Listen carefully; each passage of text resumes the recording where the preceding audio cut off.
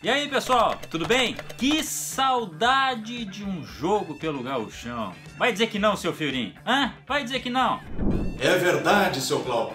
Todo mundo está com saudade do Campeonato Gaúcho. E vem aí a décima rodada. Confira a preparação dos clubes para os jogos que estão por vir. Francisco Yun Sol Kim, 29 anos, ou simplesmente Chico, ex-atlético goianiense, é o novo reforço do Juventude. Rapaz, veja e ouça o treino do Zequinha. Isso é que é puxar peso.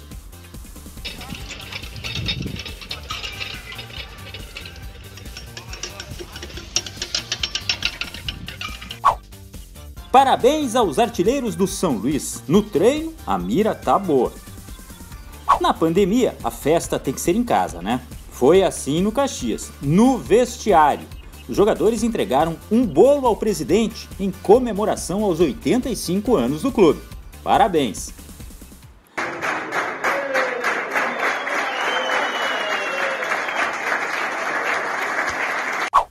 Momento Solidariedade. Os jogadores do Brasil mandaram mensagem para a recuperação de paciente da Covid. Que legal! Aldeci, tudo bem? Aqui é o pessoal do Brasil, desejando muita recuperação para você, orações e espero que você saia disso o mais rápido possível, beleza? Um abraço.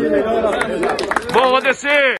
Imagem do treino? Só do bobinho. O Aimoré não quer revelar nada antes de pegar o Inter. E atenção para a classificação do Campeonato Gaúcho. Grêmio e Inter estão lá em cima, mas o tricolor lidera pelo critério de desempate. O G4 se segue com Ipiranga e Caxias. Na sequência aparecem Juventude, Aimoré, São Luís, São José, Novo Hamburgo e Brasil de Pelotas.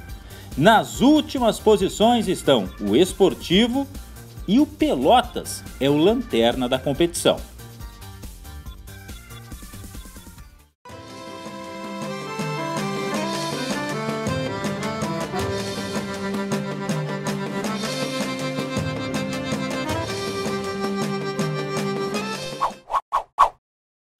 Primeiro destaque das redes sociais é para a visita do chileno Carlos Palacios ao Memorial do Inter, para conhecer um pouco da história do clube. E adivinha o que ele falou, hein? Ah, claro, e também quer fazer parte dessa história. Tomara, né? Todo maravilloso, las fotos, coleccioné camiseta, banderines, eh, copa, eh, todo, todo muy maravilloso y, y espero también poder dejar una acá. Agora vamos de Libertadores da América. Nesta quarta-feira, o Grêmio enfrenta o Independiente Del Valle na Arena e 1 a 0 serve para o tricolor se classificar à fase de grupos da competição. E já sabe que passando pelo Independiente Del Valle terá também a sua estreia em casa, diante do Defensa e Justiça. Por falar em fase de grupos e tabela, o Inter já sabe quando e onde vai jogar. Confira aí na tela. A Comebol definiu a tabela da fase de grupos. O caminho do Inter em busca do Tri começa dia 20, contra o Always Ready, em La Paz. Na sequência, jogará no Beira-Rio, nos dias 27 de abril e 5 de maio, contra Deportivo Tátira da Venezuela e Olímpia do Paraguai.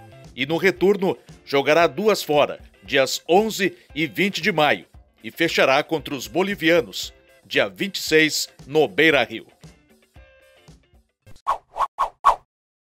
Mais um destaque das redes sociais e agora uma coisa lamentável. Uma briga generalizada no campeonato boliviano envolvendo jogadores do Always Red, um dos adversários do Inter. Aliás, o adversário da estreia. Olha só que coisa feia, rapaz.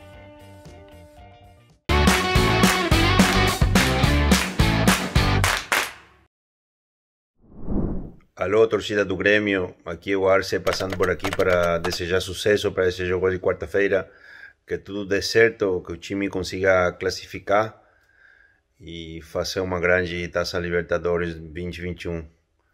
Um abraço a todos, saudades. E a gente vai ficando por aqui, falando, é claro, de Libertadores, porque o Grêmio tem que passar por cima dos equatorianos do Independiente Del Valle. E a grande esperança é o titio Diego Souza, que já tem seu nome na história do Grêmio, mas pode ficar ainda mais marcado. Confira, a gente se vê na próxima. Tchau!